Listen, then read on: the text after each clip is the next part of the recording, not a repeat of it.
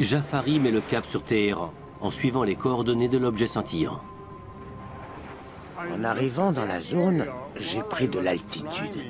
Et là, je l'ai vu, de mes propres yeux.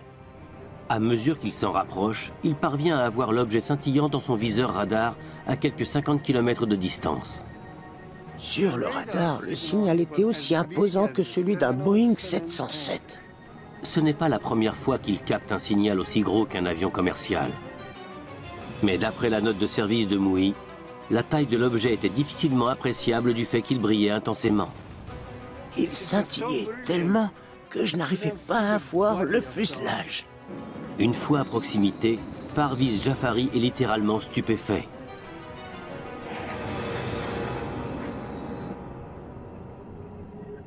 L'objet avait la forme d'un diamant. Au sommet, une lumière rouge scintillait.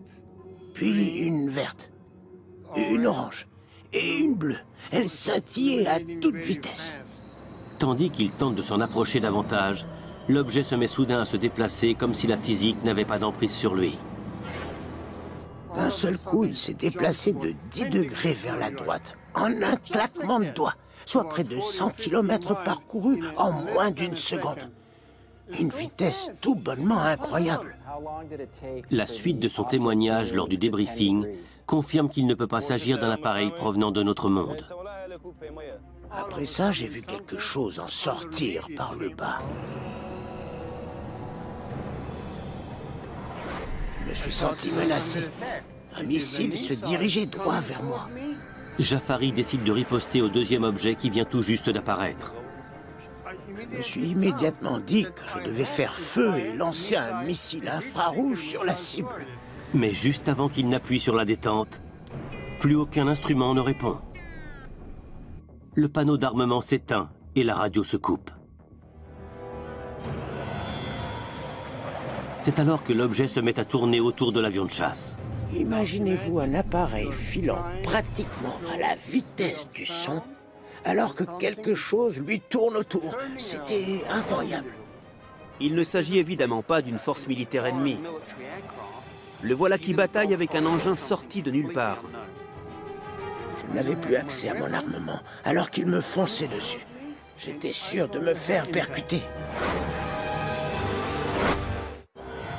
Dans le ciel de Téhéran, le pilote de l'armée de l'air impériale, Parviz Jafari, est aux prises avec un ovni. Sous la menace d'un objet inconnu qui vient de jaillir du vaisseau mère, il part soudain en piqué afin d'échapper à l'offensive. Mais aussi vite qu'elle a démarré, celle-ci prend fin. L'objet cesse toute poursuite. Le deuxième objet volant s'est alors éloigné de moi avant de repartir sur l'objet principal et de disparaître totalement. Dans sa note de service, le colonel Mouy écrit l'objet est reparti se fondre dans l'objet principal. À mesure que le pilote s'éloigne de sa cible, tous les systèmes de son avion de chasse se réactivent. Lorsqu'il rappelle la tour de contrôle, on lui passe le général Youssefi qui lui ordonne de rentrer à la base. Je lui ai demandé où il voulait que je me pose, à Téhéran ou bien à ma base d'origine, près d'Amadan. Il m'a répondu Vous avez ordre de vous poser au plus vite à Téhéran.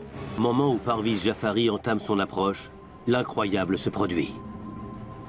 J'ai vu apparaître un petit objet circulaire qui se dirigeait tout droit vers le sol.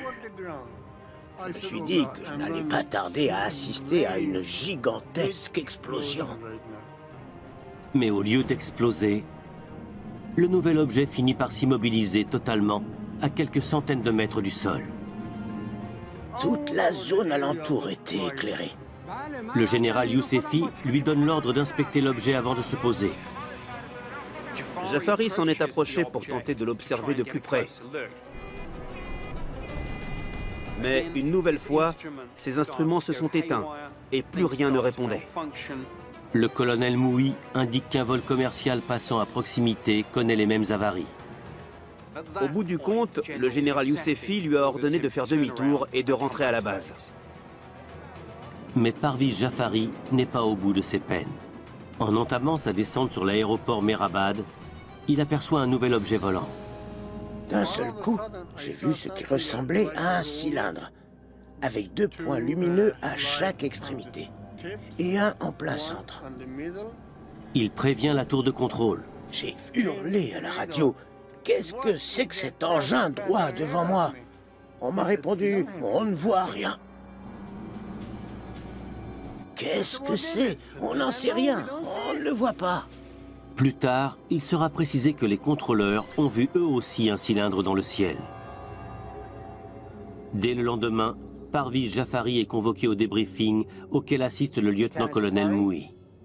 Durant la nuit, l'incident a filtré dans les médias. Le 20 septembre 1976, le journal de Téhéran révèle qu'un membre de l'armée de l'air s'est adressé à la presse la nuit même de l'incident. La pression monte au sein des armées américaines et impériales qui cherchent à comprendre ce qui s'est produit. Le ciel était limpide?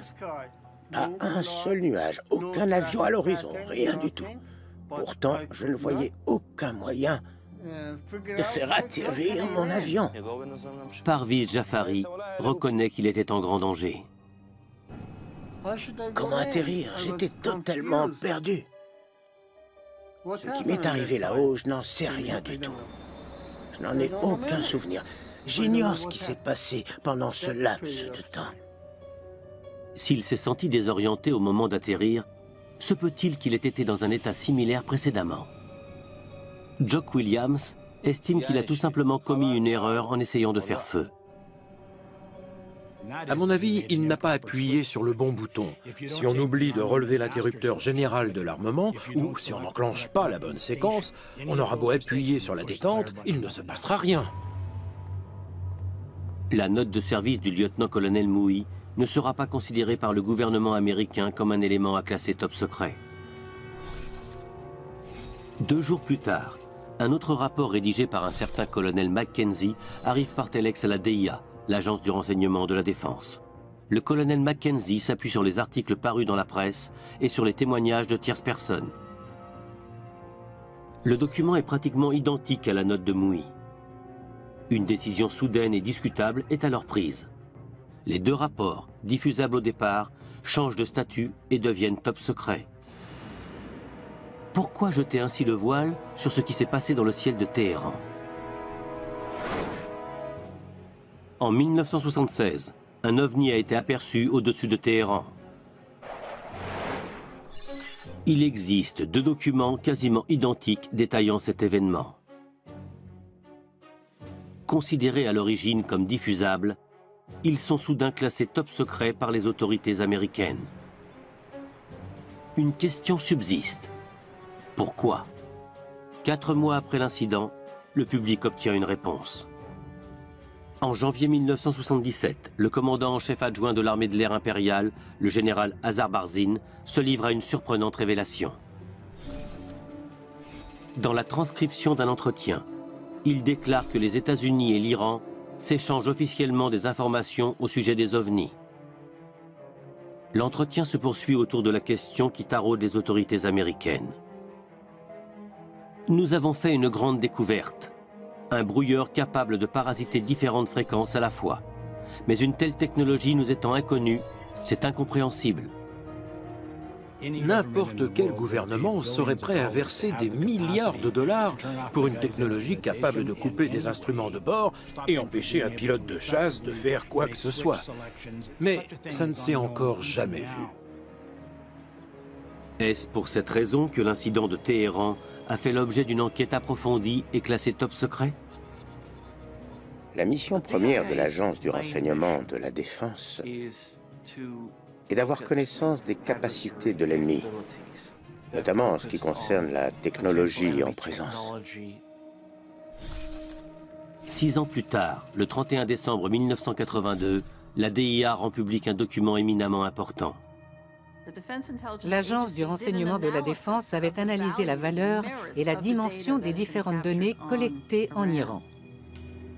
Tous les facteurs les plus irréfutables concernant cette fameuse apparition d'un ovni sont minutieusement répertoriés dans l'analyse de la DIA. Elle évoque le crédit à accorder aux témoins de haut rang. Elle évoque des témoignages oculaires tous corroborés par un signal radar. Elle évoque un éventuel champ électromagnétique. Et elle évoque également l'extraordinaire maniabilité de l'objet volant. Dans la case Remarque du document, une phrase résume parfaitement le tout. Il s'agit d'un rapport exceptionnel. Cet incident rassemble tous les critères nécessaires à une étude valable des objets volants non identifiés. Cette phrase est véritablement cruciale. Elle contredit toutes les déclarations de l'armée de l'air faites dans les années 70. Une contradiction au cœur des différentes enquêtes menées au sujet des ovnis. À ce jour encore, Parviz Jafari est intimement persuadé d'avoir vu un appareil extraterrestre. Du fait de la vitesse de l'engin et de son extrême maniabilité, il n'a pas été conçu par la main de l'homme. Mais il ne subsiste aucune preuve concrète au-delà de ces témoignages. Lors de la révolution islamique de 1979, qui a entraîné la chute du Shah, de nombreux documents ont été perdus ou détruits. Plus de boîtes noires, plus de télémétrie, plus aucune donnée mécanique ou radar. Dans l'optique où le gouvernement américain aurait davantage de données, celles-ci sont toujours classées top secret. L'absence de preuves scientifiques continue de laisser planer le doute sur les témoignages de nombreux pilotes. En 1980, quatre ans à peine après l'incident de Téhéran, un autre pilote de chasse va soutenir l'invraisemblable. Ce document de la défense américaine a été archivé le 3 juin 1980. Il fait état d'une apparition d'OVNI en Amérique du Sud devant des centaines de témoins. Ville de La Roya, au Pérou, le 11 avril 1980. 1800 militaires et employés civils se trouvent sur la base aérienne Mariano Melgar lorsqu'un objet de forme arrondie est repéré en plein milieu d'une zone d'exclusion dans la matinée. Au départ, tout le monde s'est dit que c'était un ballon sonde. Mais la principale crainte était celle d'un appareil espion. S'agissant d'un complexe militaire extrêmement sensible et d'une zone d'exclusion aérienne, l'armée de l'air l'a pris comme une agression. Le pilote Oscar Santamaria reçoit immédiatement l'ordre de décoller et d'abattre ce qui ne peut être qu'un ballon espion. À cette époque, la base Mariano Melgar est un point stratégique au Pérou. On y stocke des armes et des avions de combat soviétiques flambant neufs. Santa Maria se précipite pour intercepter l'appareil avant que celui-ci ne s'approche des installations militaires. Il pilote un Sukhoi Su-22, un chasseur de fabrication soviétique équipé d'un canon 30 mm. Quand j'ai atteint les 8000 pieds d'altitude, j'ai lancé la manœuvre d'attaque. Lors de l'audition citoyenne sur la divulgation tenue en 2013, Santa Maria a fait le récit de cette rencontre. Après avoir rapidement localisé la cible, il l'a dans sa ligne de mire. Ayant reçu l'ordre de l'abattre, il n'hésite pas une seule seconde à accomplir sa mission. J'ai tiré une rafale de 64 munitions de calibre 30 mm. Une seule balle de 30 mm à tête explosive qui plus est suffirait à abattre n'importe quel type d'appareil. Mais il n'en est rien. Le rapport de l'agence du renseignement à la défense précise qu'aucun des tirs du pilote péruvien n'a causé le moindre dégât. À sa grande surprise, il n'a pas réussi à abattre l'objet volant, alors qu'il l'avait dans son viseur. C'était comme si les balles se dématérialisaient en approchant la cible. Elles étaient totalement inefficaces. Santa Maria étant un pilote chevronné, il se cale de nouveau sur sa cible. Mais cette fois, celle-ci amorce une manœuvre d'évitement.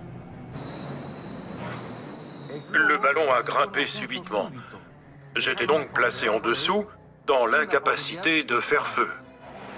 Il enclenche la post-combustion pour atteindre une fois et demie la vitesse du son.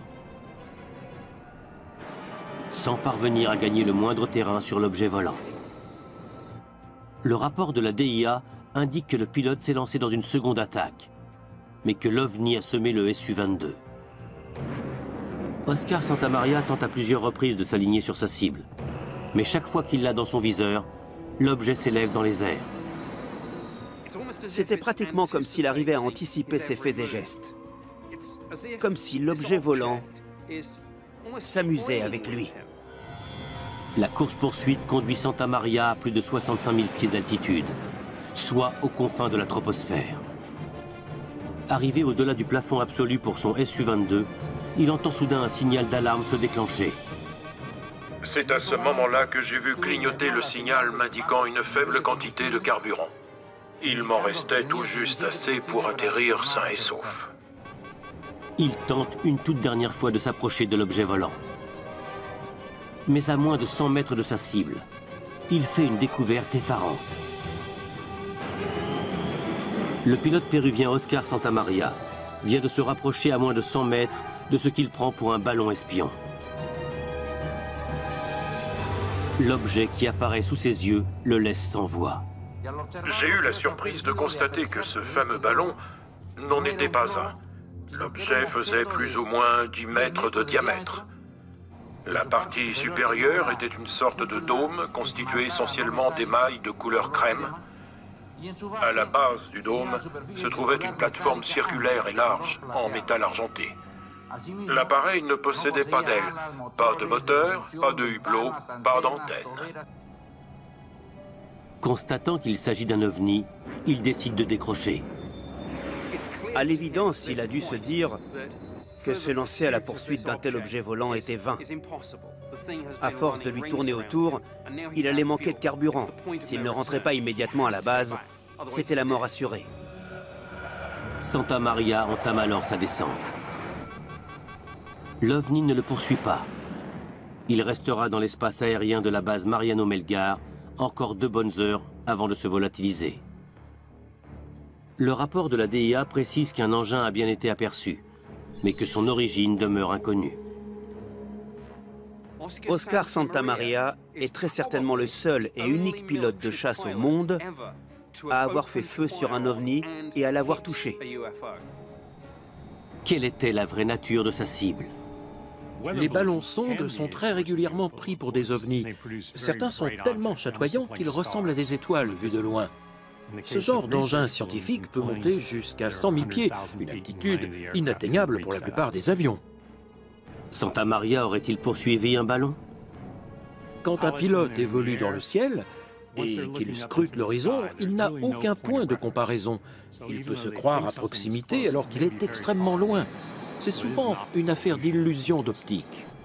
Pourtant, Santa Maria affirme que l'objet a joué au chat et à la souris avec lui, allant jusqu'à dépasser la vitesse supersonique. Il n'existe aucun ballon sonde capable de telle prouesse, et encore moins de réchapper à la rafale d'un canon 30 mm. L'éminent journaliste aéronautique Bill Sweetman propose une autre explication. Le Su-22 est un avion d'assaut relativement rudimentaire. Il n'a rien d'un avion intercepteur. Les munitions embarquées sur le Su-22 ont été conçues pour être lourdes et non pas rapides. Autrement dit, si la vitesse à la bouche du canon n'est pas très élevée, il faut se trouver tout près de sa cible pour espérer faire mouche. À trop longue distance, les balles tombent dans le vide du fait d'une vitesse de propulsion insuffisante. Malgré son canon 30 mm, Santa Maria n'a donc peut-être jamais touché sa cible. Mais quelle que soit l'hypothèse, une telle rencontre est véritablement marquante pour un pilote. Au total, j'ai manœuvré pendant 22 longues minutes qui sont à jamais gravées dans ma mémoire. Je reste convaincu de l'existence d'une vie extraterrestre technologiquement avancée. Et si les pilotes tels qu'Oscar Santamaria avaient tout simplement halluciné et imaginé des choses Se peut-il qu'ils aient craqué sous la pression d'une menace inconnue? Lorsqu'un être humain a peur, lorsqu'un pilote voit un engin lui fondre dessus, lorsqu'il est confronté à quelque chose d'inconnu, il risque d'avoir une réaction impulsive. D'où l'importance de partager ces informations. Mais lorsqu'il en va de la sécurité nationale, l'armée de l'air préfère que ces rapports restent confidentiels. J'ai tendance à comparer le sceau du secret à la cave d'une maison. Il est beaucoup plus facile d'y entreposer quelque chose et de le laisser dans un coin, plutôt que de l'étudier à la lumière du jour. L'horloge mesure une unité de temps, puis une autre et encore une autre. C'est ce qui définit la vie. Mais si le temps saute, s'arrête, reprend sans avertissement, sans logique, c'est le bouleversement que provoque le trou de mémoire.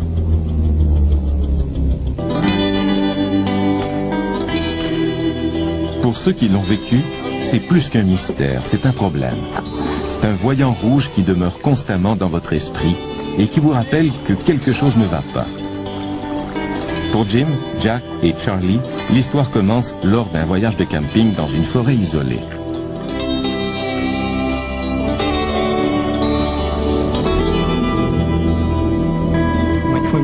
Mon frère jumeau Jack, deux de nos amis et moi-même sommes allés faire un voyage de camping et de canot dans le parc provincial de Baxter dans le nord du Maine. C'est dans une région sauvage.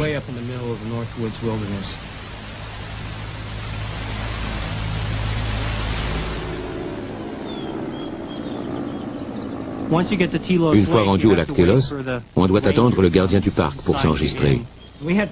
On avait prévu aller à la pêche à la truite dans un lac appelé Smith Pond. Quand le gardien a vu que c'est là qu'on voulait se rendre, il nous a dit qu'on ne pouvait pas y aller. On s'est dit qu'on irait quand même y jeter un coup d'œil, et c'est là que les choses ont commencé à mal tourner. Une couple de nuits plus tard, on a décidé tous les quatre d'aller pêcher sur ce lac. On a fait un énorme feu pour pouvoir retrouver notre chemin. On a pris notre canot, puis on est parti. On était sur l'eau depuis quelques minutes seulement. C'était très marécageux. Il y avait des arbres et des racines sous l'eau. Un endroit dangereux. On était là depuis une vingtaine de minutes, pas plus. Je faisais passer le rayon de lumière de la lampe de poche sur l'eau pour détecter un coin où il y aurait du poisson. Comme je regardais dans l'eau, un des gars a crié « Mais qu'est-ce que c'est que ça ?» Quand je me suis retourné pour voir de quoi il s'agissait, j'ai vu au bout du lac, juste au-dessus des arbres, une énorme sphère lumineuse, de la taille d'une maison à deux étages. Ça n'émettait aucun bruit. Et ça flottait dans les airs. On était dans le sens du vent. Pas de ronronnement, de bourdonnement, de sifflement, de vrombissement, absolument rien. Au début, on a essayé de rester calme. Qu'est-ce que ça peut bien être Je savais tout ce que ce n'était pas. Ce n'était pas un hélicoptère. Ça ne se déplaçait pas comme un ballon météo. Dans toute ma carrière militaire, je n'avais jamais vu cet engin et je n'en avais jamais entendu parler. Puis je crois que Charlie a dit « Et si je lui envoyais un signal avec la lampe de poche ?» Nous avons répondu que c'était une bonne idée. J'ai envoyé le signal et un rayon de lumière a jailli par en dessous. Il clignotait. Et aussitôt qu'il a envoyé le signal, la chose a commencé à se déplacer vers nous. J'ai empoigné la rame du canot et j'ai commencé à ramer. Le plus fort possible. Je concentrais mon regard sur le feu.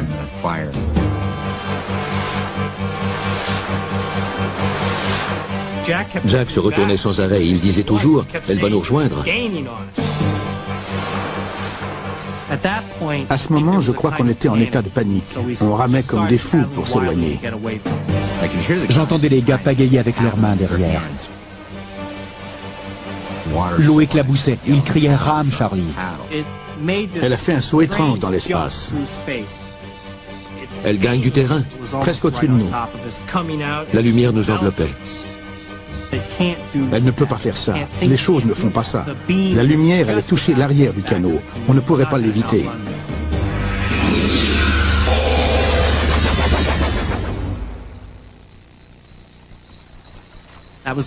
C'est la dernière chose qui m'a traversé l'esprit avant de me retrouver sur la rive.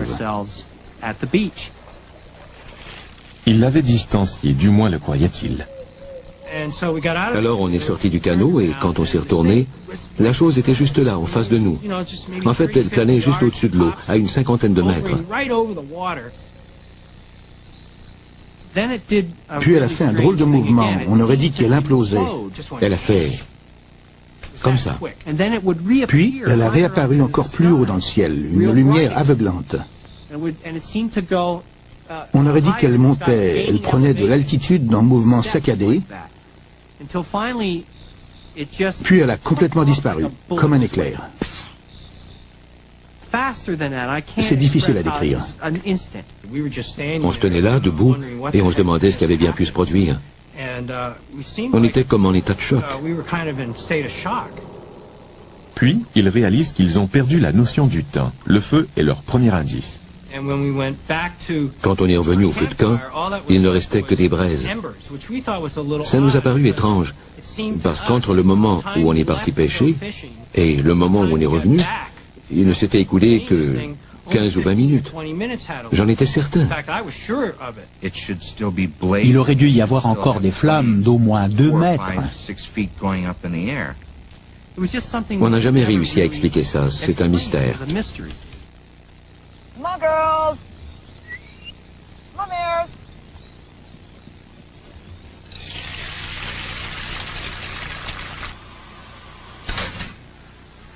Claire et Diana seraient les premières à vous dire qu'un horaire fixe est la clé de la réussite sur une ferme.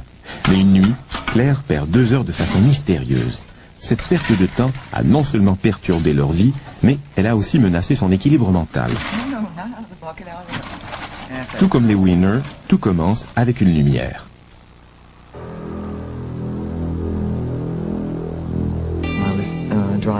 J'étais à environ 7 km de la ferme. J'ai aperçu des lumières dans le ciel. C'était tranquille. Je n'entendais aucun bruit de moteur d'avion. Je me suis garé sur le bord de la route et je suis sorti pour voir ce qui se passait. En une fraction de seconde, j'étais de retour dans la voiture, conduisant sur les chapeaux de roue. J'étais 5 km plus loin d'où je me trouvais précédemment. Mes oreilles saignaient, probablement parce que mes boucles d'oreilles étaient à l'envers. J'ai aussi réalisé qu'une heure et demie s'était écoulée et je n'avais aucun souvenir de ce qui s'était passé pendant ce temps.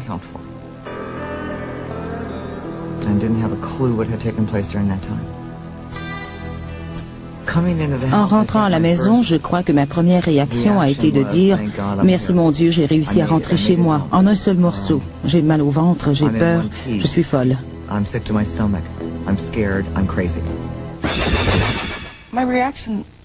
J'ai tout de suite pensé « Oh mon Dieu, Claire est folle. Je lui donne trop de travail, il se passe trop de choses. Elle a besoin d'un congé. » J'ai tout de suite pensé « Oh mon Dieu, Claire est folle. Je lui donne trop de travail, il se passe trop de choses. Elle a besoin d'un congé. » Mais l'incident se produit de nouveau. Une couple de semaines plus tard, en revenant d'une rencontre d'affaires, j'ai vu des lumières sur la route devant moi. Soudain, l'intérieur du camion est devenu tellement illuminé que j'étais aveuglé.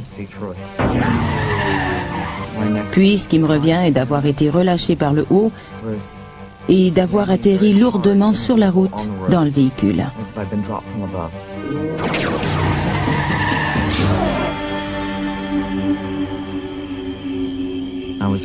J'avais peur de leur raconter que ça s'était produit une autre fois.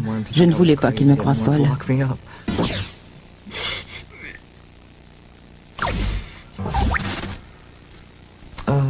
J'ai pensé que je faisais une dépression nerveuse. J'ai souvent pensé cela. Claire n'est pas la seule à être déstabilisée par ce trou de mémoire. Dans l'humour, comme dans la vraie vie, le sens du rythme est important. Un soir qu'il se rend dans le Vermont pour donner un spectacle, Fred se rend compte qu'il a perdu plusieurs heures. Sa vie commence à se détériorer. Pour lui aussi, le coup de départ est une apparition. Tout à coup, j'aperçois cette chose. Ça ressemble au dirigeable de Goodyear. C'est ce que j'ai cru. Les lumières ont commencé à flotter au-dessus. Ça retient mon attention et je me dis, ça, c'est le dirigeable de Goodyear et bientôt, je vais voir le nom Goodyear. En quelques secondes, il était réduit à la grosseur d'un ballon de volleyball. Et je me dis, ce n'est pas un dirigeable. Juste au moment où il s'approche, un avion militaire s'amène. Et comme il arrive dans le champ de vision, le présumé dirigeable se dirige vers le nord et s'éloigne de l'avion en un temps record. Il est parti.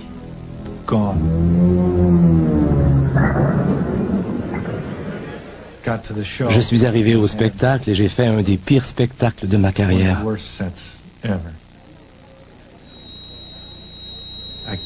Je n'arrivais pas à utiliser le microphone. Chaque fois que je voulais le prendre dans ma main, quand j'arrivais à la chute de mon histoire, il y avait un court-circuit.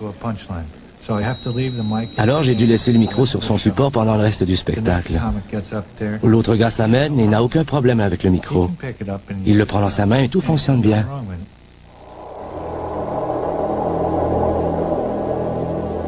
Après 5 ou 10 minutes de route, je revois cette chose. Les lumières flottent au-dessus. Il l'enveloppe complètement. Puis, quand tout est éclairé, elle commence à descendre en biais. Ce n'est pas un dirigeable. Et ça descend toujours, et je la regarde. Elle est en chute libre. Elle va s'écraser.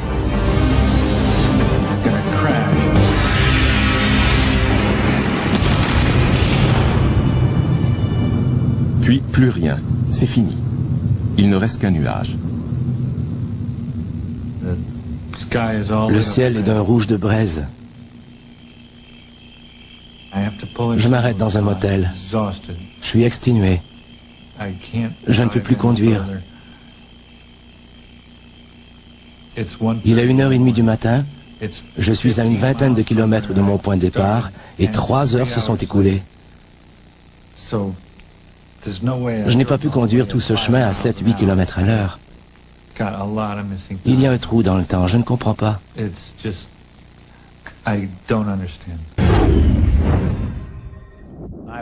On m'a conduit au site, on m'a expliqué son fonctionnement, et puis on m'a montré en quoi mon travail allait consister. Voici l'histoire d'un homme qui n'existe pas. Et je me suis dit qu'il était de mon devoir d'en parler à quelqu'un. Et d'un lieu qui n'existe pas non plus. C'est une histoire placée sous le sceau du secret, où se mêlent peur, conspiration et dissimulation. Ils ont menacé de tuer ma femme. Caché en plein cœur d'un désert américain, ils m'ont dit que rien ne les arrêterait. L'accès est défendu par des hommes armés autorisés à tirer sur les intrus afin de garder cet endroit top secret. Ils étaient complètement fous et totalement incontrôlables. Dans le désert du Nevada, à environ 110 km de Las Vegas, existe une zone de la superficie de la Suisse que personne ne prétend connaître. Depuis la fin de la Seconde Guerre mondiale, ces terres désertiques renferment un mystère. Certains l'appellent Groom Lake, d'autres le pays des rêves. Mais cette zone est plus connue sous le nom de la zone 51. C'est le secret de l'armée américaine le mieux gardé. La zone 51 n'est pas reconnue à ce jour. En d'autres termes, l'armée de l'air nie son existence. En l'absence de preuves, des rumeurs ont commencé à se propager. Non seulement des soucoupes volantes seraient testées, mais en plus, ces soucoupes ne seraient pas l'œuvre de l'homme, mais le résultat d'un projet commun entre l'armée et une forme d'intelligence étrangère à notre planète. Cette idée apparaît bien sûr insensée. Mais de l'avis général, cette zone renferme effectivement un secret. Un secret que l'armée tient à garder coûte que coûte.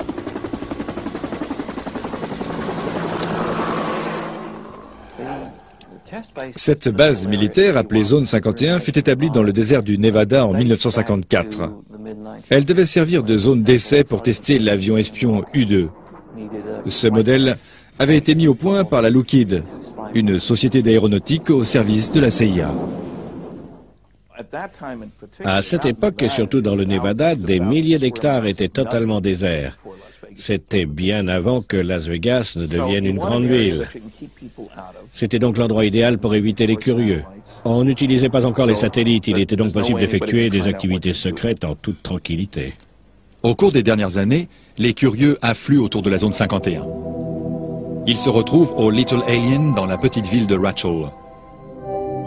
Ils se racontent leurs histoires, achètent un souvenir d'extraterrestres, ou bien encore, ils échangent leurs points de vue sur les diverses théories de conspiration. Certains ne retournent jamais chez eux. Passionnés d'OVNI, ils se laissent envoûter par les récits fantastiques qui entourent la zone 51. Les activités de la base concernent essentiellement l'élaboration de nouveaux avions espions et d'avions furtifs. Mais il existe une partie qui est située un peu plus au sud du complexe de Groom Lake. Il possède, à défaut d'un meilleur terme, une technologie extraterrestre.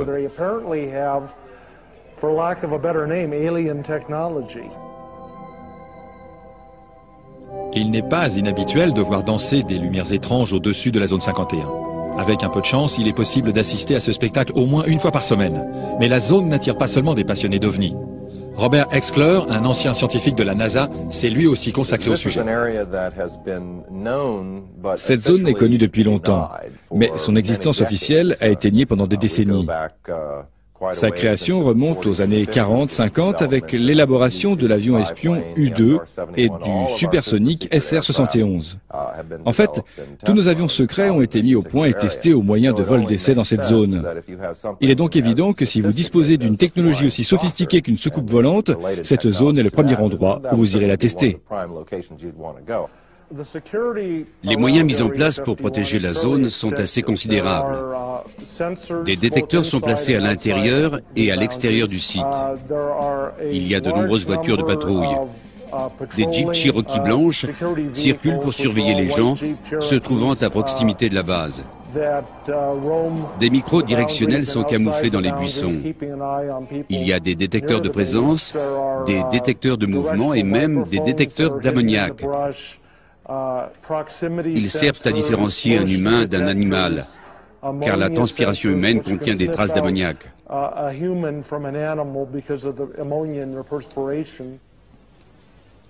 Ces niveaux de sécurité extrêmes s'appliquent également aux personnes travaillant sur le site. Lorsque vous travaillez dans ce genre d'endroit, vous vous engagez par écrit à renoncer à vos droits constitutionnels. Vous signez un document stipulant que si vous violez cet accord et parlez des projets sur lesquels vous travaillez, vous purgerez une peine de 20 ans au pénitencier fédéral de Leavenworth. Et cela sans passer devant un tribunal et sans avoir le droit de faire appel. C'est un excellent moyen pour vous empêcher de parler. Un homme n'a pas su tenir sa langue. Ce physicien et ingénieur a non seulement affirmé avoir travaillé sur le site de la base 51, mais il a aussi déclaré avoir travaillé sur le projet le plus top secret de l'armée, les soucoupes volantes. Il s'appelle Bob Lazar. C'est un homme peu ordinaire dont le passé comporte beaucoup de zones d'ombre. Il déclare n'avoir jamais tiré profit de cette histoire, mais pour beaucoup, son récit ne tient pas debout et il n'est qu'un illuminé de plus.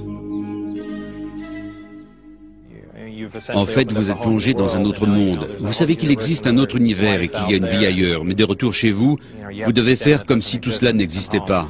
Je voulais que les gens connaissent la vérité. Bob est un homme relativement sérieux. Il a de l'humour, mais ce n'est pas pour autant un rigolo. Je le connaissais bien avant qu'il ne travaille dans ce programme. Je connaissais sa famille et la famille de sa femme. Quand il travaillait à Los Alamos, il m'a emmené avec lui et j'ai rencontré ses collègues de travail. Je n'ai jamais mis en doute la véracité de cette histoire, ni même pensé un seul instant qu'il ait pu l'inventer. J'ai toujours pensé que les soucoupes volantes étaient le produit d'une imagination fertile. Je n'y croyais pas, ça ne m'intéressait pas. D'ailleurs, ça ne m'intéresse toujours pas. Mais maintenant, j'y crois fermement. Je travaillais dans le laboratoire sur le réacteur et un des amplificateurs gravitationnels qui provenaient de la soucoupe. Je passais toutes mes journées dans le laboratoire. Mais un jour, j'ai été autorisé à pénétrer dans le vaisseau afin de voir comment s'intégraient les systèmes dans l'appareil et vérifier si leur emplacement jouait un rôle sur leur fonctionnement. Il y avait une trappe, une ouverture, dirons-nous. La porte n'était plus là. Visiblement, elle avait été enlevée ou même n'avait jamais existé. Il y avait une échelle pour accéder à l'intérieur. J'ignore donc comment le vaisseau se fermait. Et j'imagine simplement qu'ils avaient enlevé le panneau d'ouverture. Manifestement, cet engin était conçu pour être piloté par des êtres d'une taille inférieure à celle d'un homme. C'était un endroit très exigu. Il y avait un niveau inférieur. Une petite partie du plancher s'affaissait et s'ouvrait. J'ai passé ma tête et mon buste à l'intérieur pour voir comment les amplificateurs gravitationnels étaient maintenus à l'envers. C'est à ce moment que l'un des éléments est devenu transparent. Des techniciens étaient présents. J'ignore totalement ce qu'ils faisaient. Et puis, quelque chose s'est mis à défiler sur l'écran. Apparemment, le revêtement du vaisseau, sous un influx électrique ou un autre facteur, pouvait devenir transparent. Peut-être pour voir à l'extérieur ou bien pour faire office d'écran vidéo. Tout cela était plutôt incroyable. Quand je suis sorti de l'appareil, la coque avait à nouveau l'aspect d'un simple morceau de métal.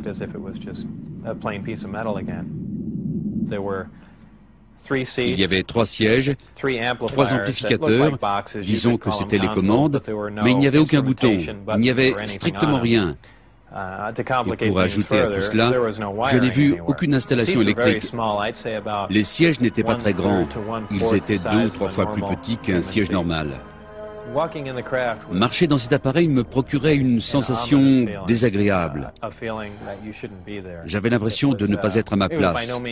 En même temps, c'était très excitant, je ne peux pas dire le contraire. Mais j'ai vraiment eu l'impression d'être plongé dans une autre dimension. Toutefois, Bob Lazar a toujours insisté sur le fait qu'il n'avait jamais vu quoi que ce soit qui puisse ressembler à un extraterrestre. On m'a emmené dans le hangar pour assister à un des tests. L'appareil était posé sur le fond de l'ancien lac. Il a décollé sans faire de bruit. Il est resté en suspens dans les airs, puis il est redescendu se poser au sol tout en douceur. C'était vraiment impressionnant. C'est comme si vous voyiez une maison se détacher du sol sans faire aucun bruit. Vous ne pouvez pas imaginer la puissance nécessaire pour effectuer un décollage sans produire aucun son. Je suppose que des hommes étaient aux commandes de cet engin. D'une manière ou d'une autre, ils ont réussi à s'installer dans les petits sièges ou bien ils se sont assis ailleurs. Visiblement, ils savaient comment fonctionnait cet appareil. Quelle que soit la technologie utilisée et d'où qu'elle vienne, ils en connaissaient le fonctionnement. Bob Lazar savait ce qu'il risquait en dévoilant la vérité, mais ce secret était devenu trop lourd à porter. On a vu des agents de l'OFI, le Bureau d'enquête fédéral, venir chez lui à l'improviste pour effectuer des contrôles de sécurité. Pour tous les proches de Bob, parents et amis, il ne faisait aucun doute que son téléphone était sur écoute. On entendait de drôles de bruit sur la ligne, et même encore aujourd'hui. En revanche, quand nous sommes en ligne avec une autre personne, on n'entend rien de tout ça. Et je me suis dit qu'il était de mon devoir d'en parler à quelqu'un.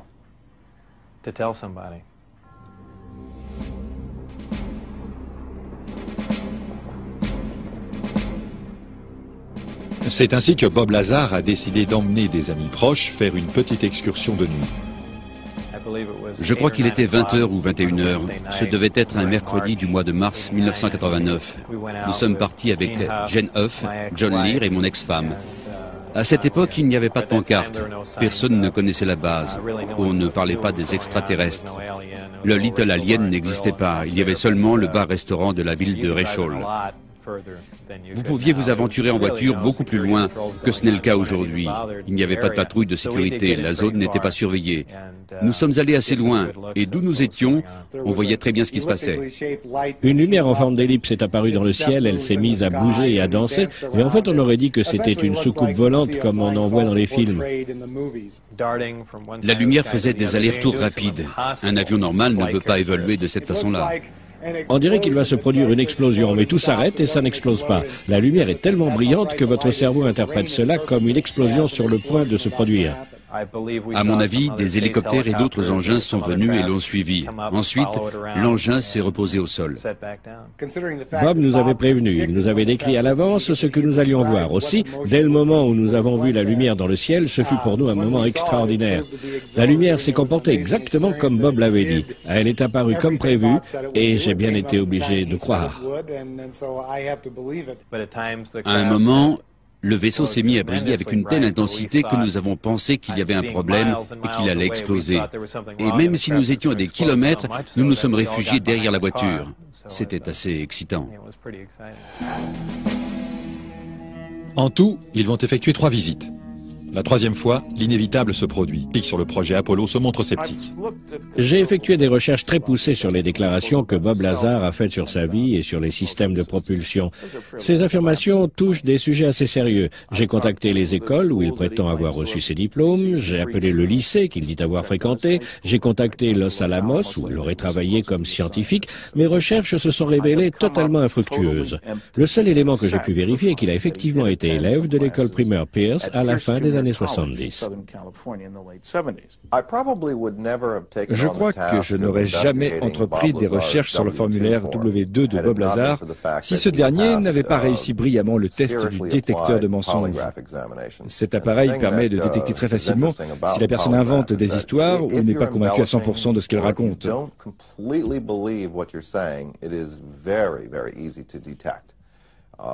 On peut donc déterminer ce degré de conviction et savoir si la personne est absolument certaine de ce qu'elle dit se rappeler. Et c'est exactement le cas de Bob Lazar.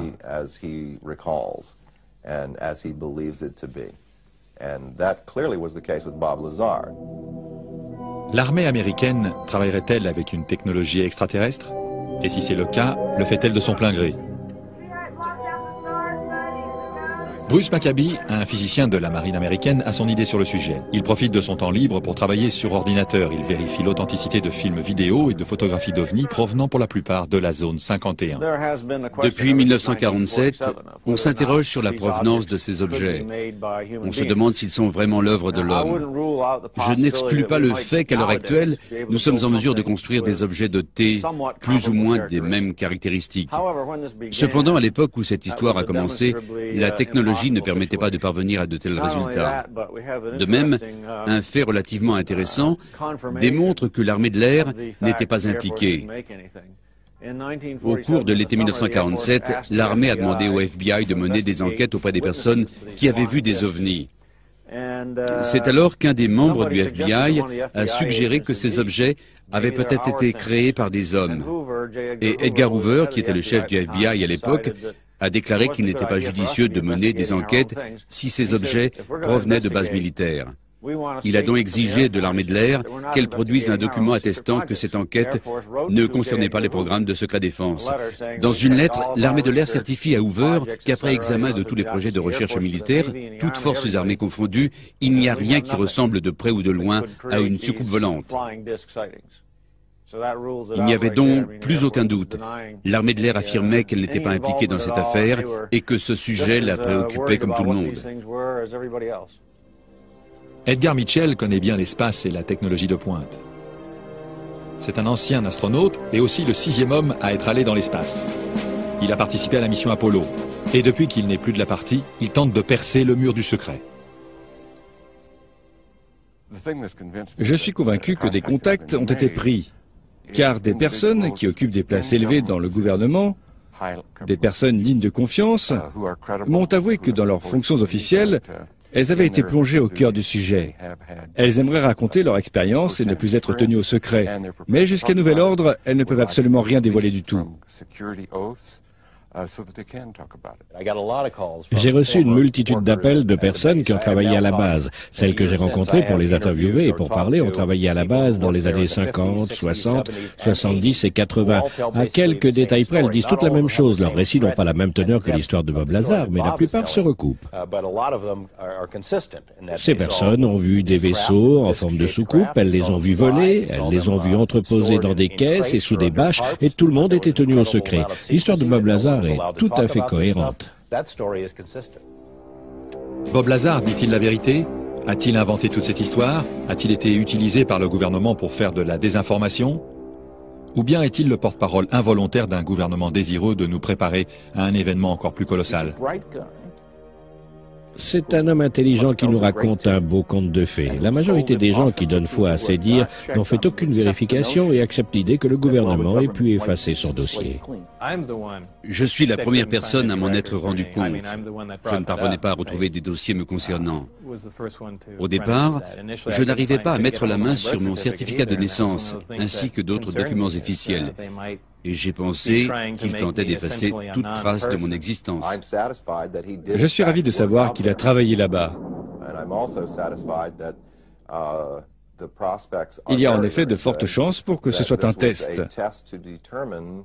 Ce test servirait à déterminer le crédit que les scientifiques et le public seraient prêts à accorder si une personne ayant participé à de tels programmes révélait des informations confidentielles de ce type.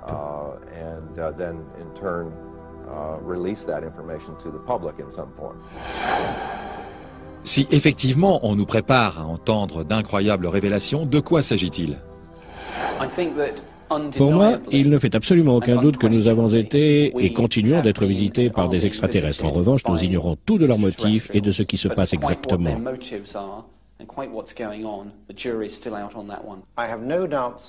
Je suis formellement convaincu que les États-Unis ont récupéré des véhicules extraterrestres. Je trouve tout cela déprimant et effrayant. Nous sommes en plein Big Brother. Si cette technologie existe, elle est extrêmement puissante et dangereuse. C'est pour cela qu'elle doit appartenir au domaine public et non pas au domaine privé. Je savais que j'étais privilégié de participer à ces programmes, mais l'atmosphère était très oppressante. Les mesures de sécurité étaient très poussées. Et de savoir que vous ne pouvez parler à personne, que vous êtes sur table d'écoute et tout ce qui s'ensuit, à la longue, il devient très difficile de supporter cette situation. Le plus dur est de travailler en plein cœur du 28e ou du 29e siècle, tout en vivant au 20e siècle. Même si Stanton Friedman se montre sceptique vis-à-vis de Bob Lazar, les activités de la base 51 ne font aucun doute pour lui. Je ne serais pas étonné d'apprendre qu'une partie de la vérité se trouve dans le désert du Nevada, près de Groom Lake. C'est l'endroit idéal. C'est un lieu isolé et sous haute surveillance. Il réunit donc toute qualité requise pour examiner à loisir des soucoupes volantes, en reconstituer de nouvelles ou les faire voler.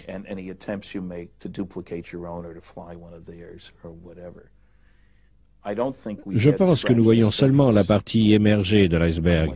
La base 51 nous réserve encore bien des surprises en matière de soucoupes volantes. Je suis arrivé à la conclusion qu'ils sont là. Je ne sais pas qui ils sont, ni d'où ils viennent, ni ce qu'ils font. Mais une chose est sûre, d'autres formes d'intelligence sont présentes sur notre planète. Alors, que l'on croit ou non le témoignage de Bob Lazar, après avoir entendu tous ces témoignages de personnes, hommes de science, théoriciens et rêveurs, Allons-nous désormais croire que les extraterrestres sont parmi nous?